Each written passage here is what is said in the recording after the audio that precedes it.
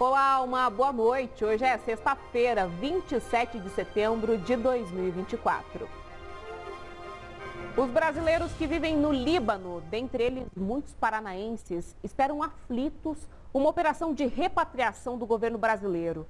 O irmão do paranaense que foi morto junto com o pai em um dos ataques de Israel chegou à Foz do Iguaçu, mas diante da negativa israelense de um acordo de cessar fogo, outras famílias temem não ter essa oportunidade.